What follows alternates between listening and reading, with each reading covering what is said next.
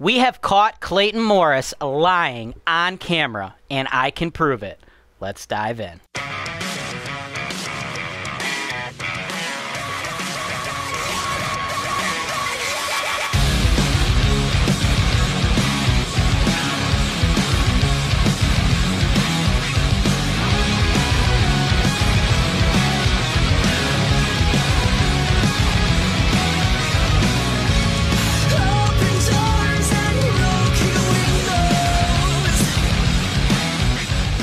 Hey, real estate investors, welcome to another episode of the Landlords from Hell show here on Holton Wise TV.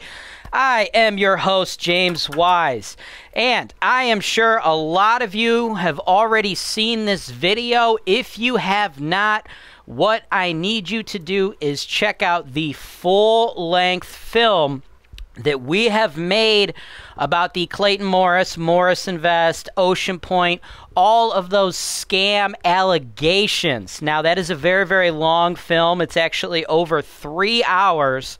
Um, but I'm going to continue this video because this video is an update on things that have happened since that film was produced. So this video is only going to make sense to you if you've already watched that. So if you haven't already watched that yet, what you want to do, you want to go ahead and pause this video, click in the show notes below, and take a look at that video. Again, it's it's incredibly long, so you're going to need uh, to devote some serious time to it because this story is just so deep. There's so many layers. There's so many onion. It's like an onion. There's so many people that were affected by this.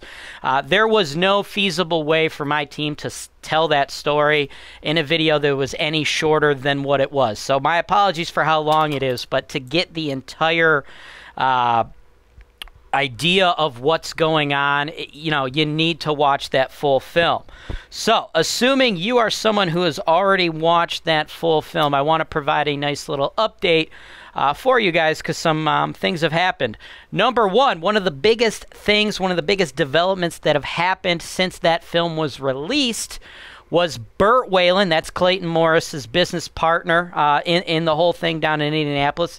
They were working together to sell properties to investors. He has actually been federally indicted, so he is facing several criminal charges. In addition, Bert Whalen's indictment also references company one and an individual one. And the individual one, while not directly named, it is mentioned that individual one is a resident of New Jersey. Now, surprising to nobody, guess who was a resident of New Jersey before they fled the United States of America and went to Portugal? You guessed right if you guessed Clayton Morris. Now, what is particularly funny to me, though, about Clayton Morris being a New Jersey resident prior to moving to Portugal is in that incredibly large and uh, gigantic lawsuit that Clayton Morris has filed against me. Clayton Morris claims that he is actually a resident of Pennsylvania who is merely traveling abroad, even though his wife has posted publicly online things about schools and putting their children in school districts over there in Portugal. The whole thing is just complete nonsense. As a matter of fact, this is how much uh, weight I put into the Clayton Morris lawsuit against me. I've actually been using this. Uh, so I can actually display my little piggy bank and my LeBron James bobblehead. I needed to get it a little higher so you can actually see it. So I've actually been using Clayton's lawsuit against me uh, to actually display these two items so you can see them better. So that is what I feel about Clayton's lawsuit, which is nothing more than a simple SLAPP lawsuit. He's trying to bully Holton Wise into putting this information out there.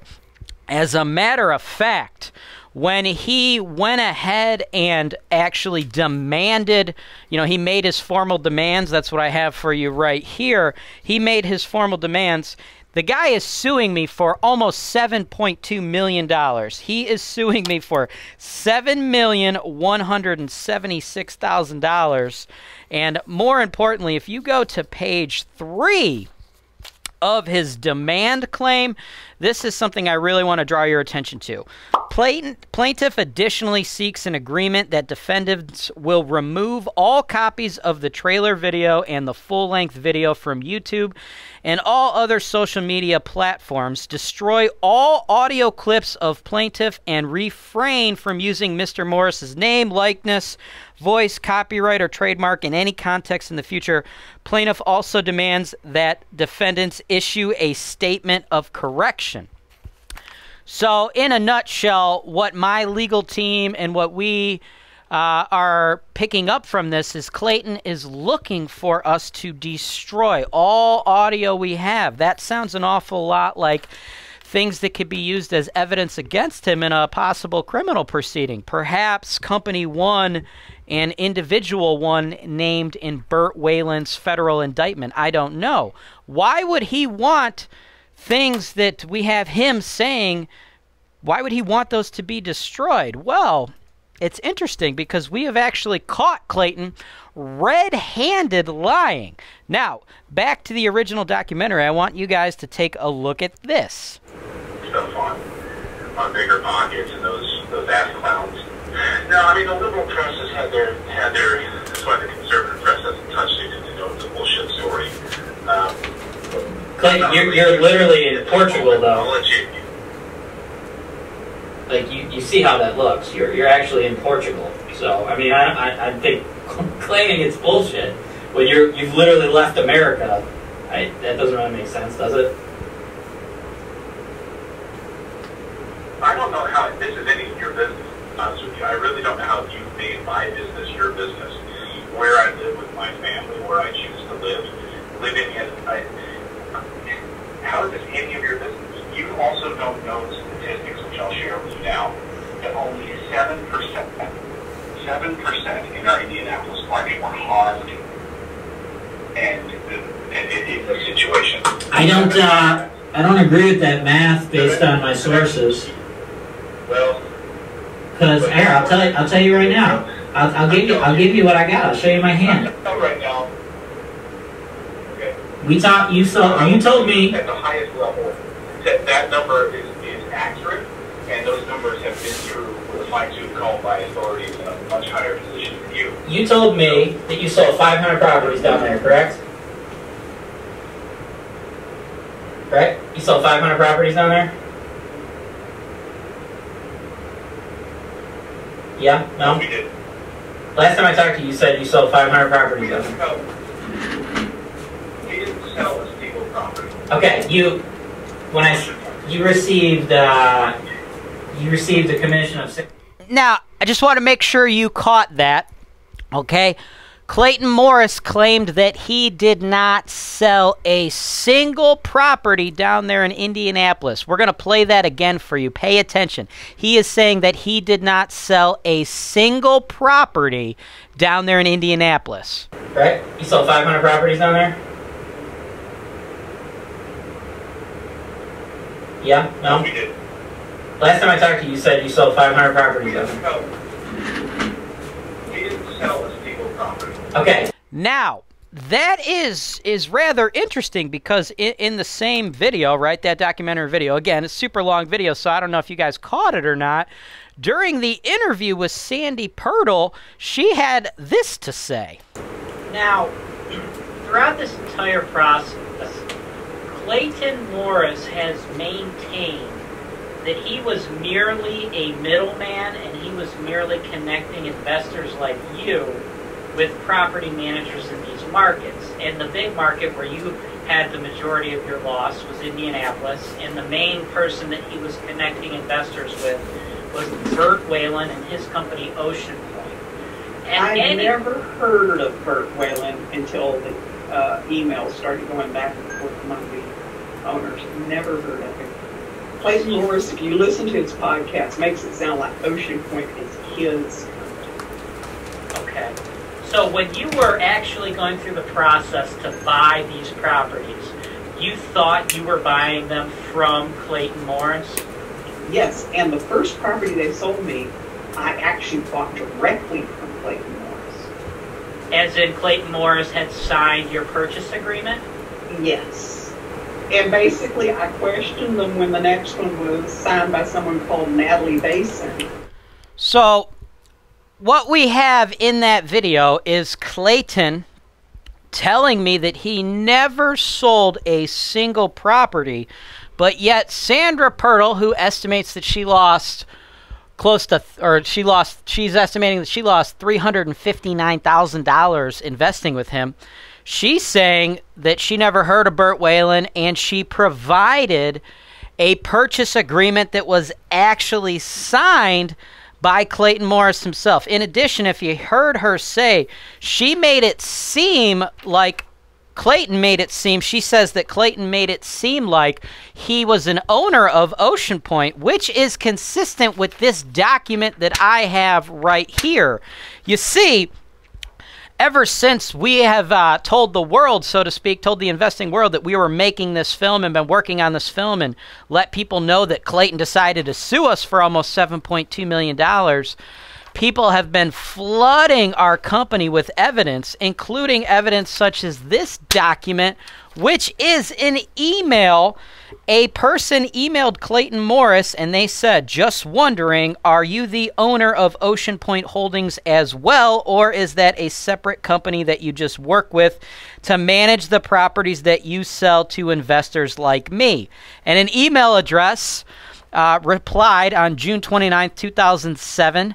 Uh, that email address was clayton at morrisinvest.com. Yes, sir. We have many LLCs that we use to hold our acquisitions before rehab, and that is just one of them that we own. That's uh, rather interesting. What else I find interesting is this email that I received from the legal team that Clayton Morris has hired to sue me. Now, in this email, they let my legal team know I write to express concern about what appears to be intentional misrepresentations to the court and improper publication of Mr. Morris's settlement demand. So, Clayton Morris, the guy who sent this email that says he owns Oceanpointe, the guy that signed the purchase agreement that Sandra Pirtle provided to us, the guy that told me on camera, you saw it on the screen, told me that he never sold a single property down there in Indianapolis.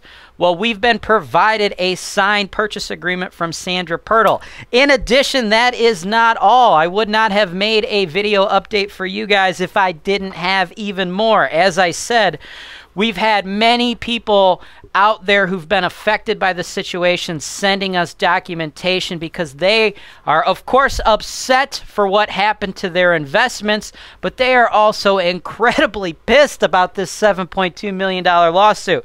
And what I have in my hand right here, well, this is another purchase agreement. This was signed March 13th, 2007, and this is for a property.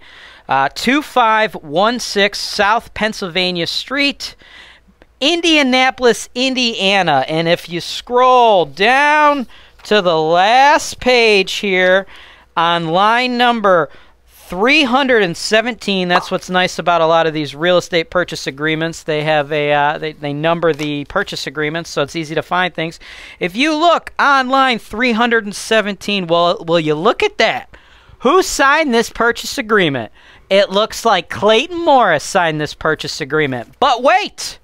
Wait, folks, there is a little bit more. And that's why this lawsuit, this gigantic lawsuit that Clayton has filed against me, that's why I utilize this lawsuit as nothing more than something to stack my little piggy bank and my LeBron James bobblehead on. Because what I have right here is another purchase agreement, this one from 5 1 2017. This is for 3528 Kinnear Avenue, Indianapolis, Indiana. And you know what? We're going to scroll to the last page here. And if we go right down there to line number 317, would you look at that? What do we have? A signature from our boy, Old Clay himself, Clayton Morris, signing another purchase agreement that seems to be a direct contradiction from what he said. Let me play that for you one more time just so it sticks in your head. Right? You sold 500 properties down there? Yeah? No, No? we didn't. Last time I talked to you, you said you sold 500 properties down there. sell, we didn't sell a single property. Okay. Wow, that's rather interesting.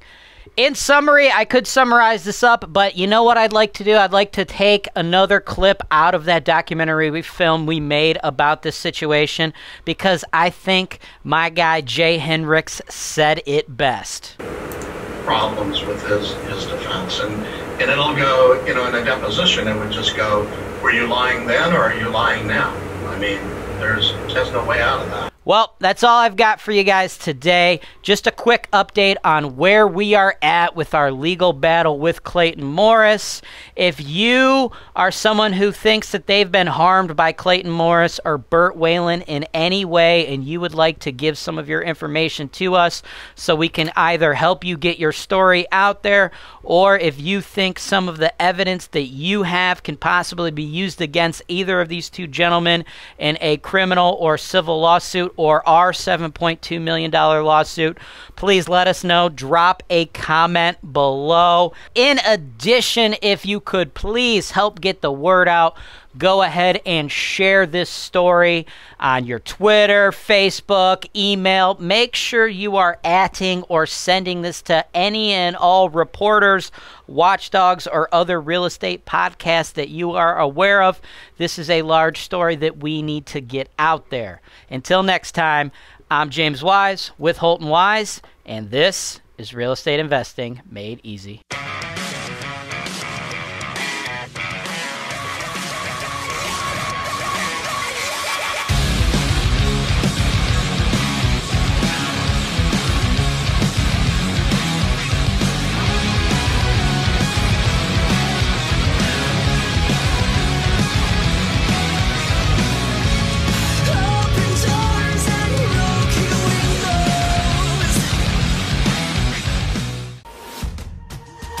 Rentec Direct provides you with an easy to use yet robust platform for managing your properties, complete with its built in reporting and accounting system that can be customized to fit your business. You can manage work orders and even accept them online from your tenants. You can also share work order details with tenants or owners if you wish. With Rentec Direct, you'll also fill your vacancies faster than ever with the built in marketing tools. Just enter the details of your property, and Rentec will automatically provide you with a professional online website, as well as syndicate them to popular websites such as Zillow, Trulia, and Apartments.com to get your listing maximum exposure so it's rented fast.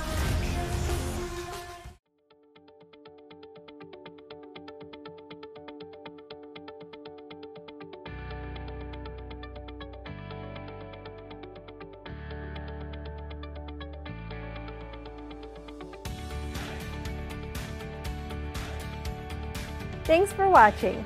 Be sure to subscribe to our channel so you don't miss out on our latest content, including video tours and analysis of investment properties that are available for sale, real estate investment education, and our most interesting encounters with tenants from hell. Holton Wise, real estate investing made easy.